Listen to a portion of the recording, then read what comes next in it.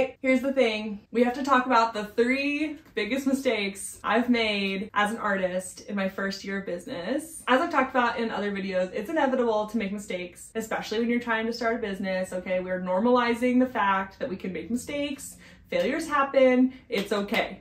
But I'm gonna talk and share with you my three biggest mistakes in my first year of business. So maybe, just maybe, you can avoid these mistakes or not make them as big as I made them. All right, so the first mistake that I've made as an artist is I spent way too much time marketing my art and not enough time actually making art. So I painted my entire portfolio at the beginning of this year. That consisted of about 25, 30 paintings. And I then got really, really caught up in marketing, trying to sell those paintings over the course of like six months or so. In that time period, I basically didn't really paint at all. Like my studio time went from like 30 hours a week to maybe four, three or four hours a week if I could squeeze it in. And I think that's a huge mistake. Yes, it's important to market. You kind of have to market in order to sell your paintings so that people see your artwork. And I got so caught up in the marketing, in creating social media content, in writing emails, in trying to post YouTube videos, anything I could possibly do to try to sell these paintings, I was doing to the max. But the thing is,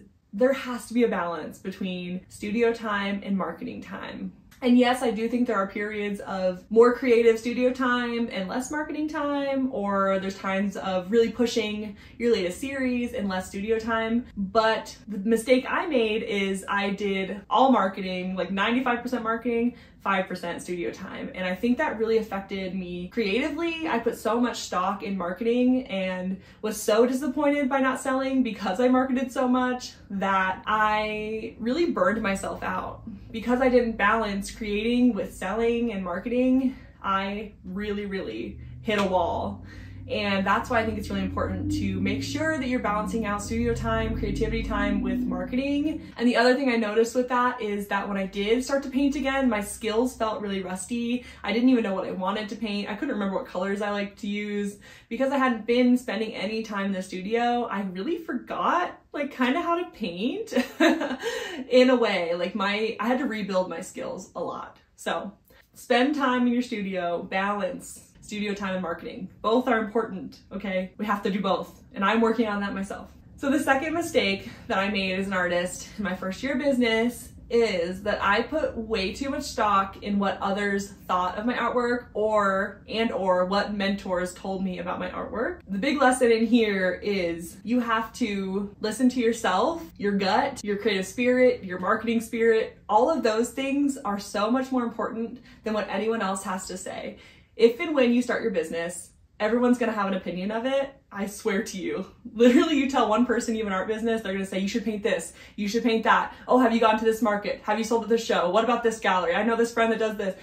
You gotta just let that stuff run off of you because if you don't prioritize your own instincts and your own gut about your artwork and your selling techniques, you'll get lost You'll get so lost. I got so lost in what others were telling me I should do with my business. I especially put too much stock in what mentors thought I should do with my business. I made a pretty big mistake of signing up for a couple of programs all at once about how to market my art. And that's a good thing. I think it is important to invest in material that teaches you how to market because I had no idea how to market my art. So I did want information about how to market. Like, how do you write a good email? How do you market your artwork? And that information is so important. But what I did on top of that is I let mentors decide for me where I should market and how I should market. And I really gave up a lot of who I am and my authenticity and my energy in trying to market in ways that weren't aligned with who I am. And I'm still working on that. I'm still trying to figure out ways to market that are authentic to me. And the mistake was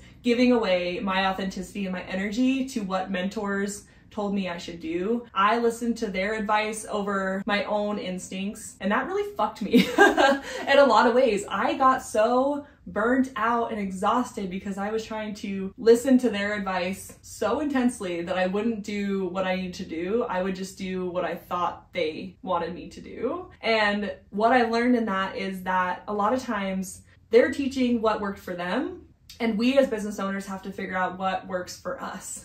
And that path is super hard and scary because it's uncharted. I thought it would be easier to just follow the path that other successful people have done. And yes, there is some wisdom in following other successful people, but if you try to take their exact path every step of the way, you're gonna be worn out because your journey is different than their journey. Giving all of your power to a mentor really does a disservice to your own journey. And that's what I did. I burned myself out week after week after week trying to do what worked for them. So that was a big mistake and I'm still recovering from that one. I'm still trying to re-navigate and get back on course to figure out what works for me.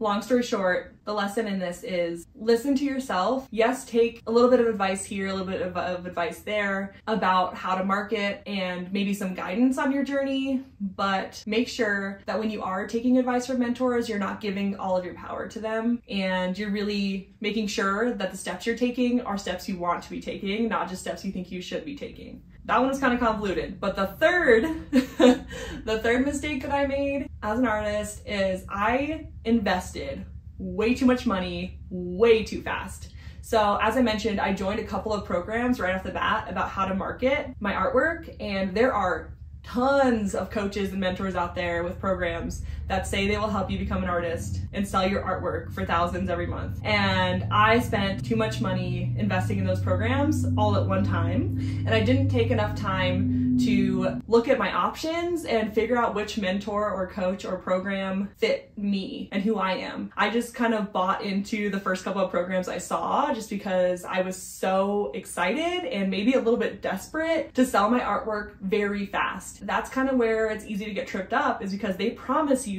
that you're gonna sell your art because of their program very fast. Like you're gonna make so much money as soon as you join the program. Just join it, we'll teach you how step by step. You'll be a full-time artist before you know it. And before I knew it, I was in thousands of dollars in, in debt. so yes, I joined these programs. Yes, I did learn something from each of these programs, but at the end of the day, I spent way too much money on stuff that I probably could have figured out on my own if I had just slowed down and just done some research, found some books at the library. But because I was desperate, I spent way too much money way too fast. So yes, I think it's important to invest in a mentor or a coach or a program, but take your time figuring out what that program is. Don't just dive straight in and spend a ton of money because they're promising you something that takes more time. And that's what I did. So yeah, Woo, my poor credit cards. We're still recovering from that.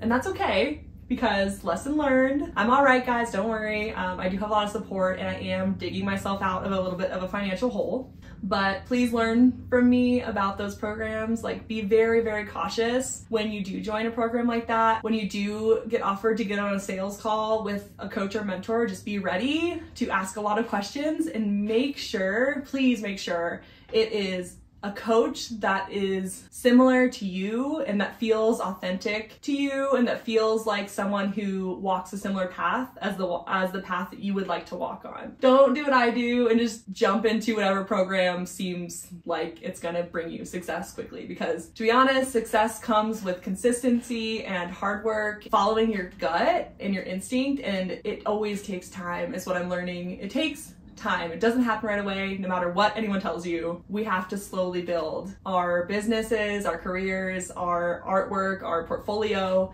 It takes time, and I had to learn that the hard way. I'm still learning that. I, as much as I would like to be a full-time artist right this second, I know it takes time and I'm on the journey and that journey takes time and I have to build it from where I am and not buy into what someone is trying to sell me because they're always trying to sell you something and sometimes it is worth it and sometimes it just puts you in a little bit of debt. Anyway, I hope you learned something from my three biggest mistakes as an artist so far. Like I said, I am normalizing the fact that mistakes and failures happen when you're trying to build a business. Failures and mistakes happen in general in life, but especially when you're trying to become an artist slash an entrepreneur. These mistakes are inevitable. You'll probably make mistakes along the way as well. So try to avoid these. And if you do make these mistakes, maybe just a little less than I did. if you haven't already, please like this video and subscribe. I do have my website down below with all my original art and prints. It's carlyjeanart.com. Please let me know if this video helped you in the comments down below. I always love to hear from other artists and like what you're going through, so let me know. Anyway, thank you so much for watching and I'll see you in the next one. Bye guys.